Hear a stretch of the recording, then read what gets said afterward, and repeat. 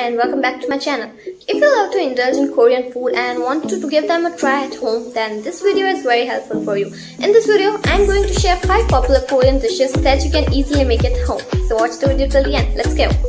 Number 1 comes kimchi fried rice. It's a great way of utilizing your leftover kimchi.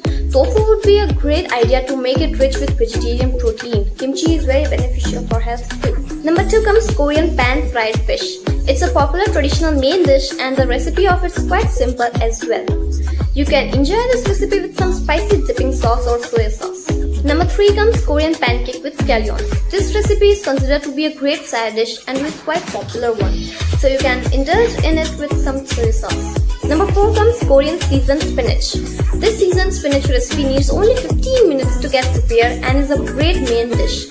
It can also be consumed as a side dish with other main Korean foods like japchae, kimbap or bibimbap. Last but not the least comes number 5 Korean rolled egg omelette.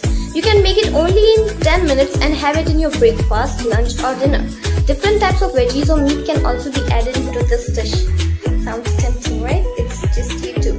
So these were the 5 Korean dishes that you can try at home. So I hope you like my video. 감사합니다. 안녕. See you soon in the next video.